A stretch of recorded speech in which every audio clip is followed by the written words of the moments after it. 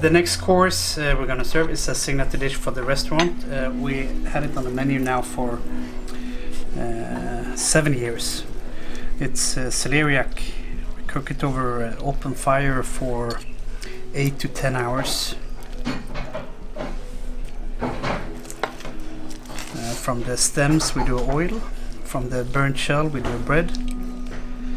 And from the leftovers we cook bouillon.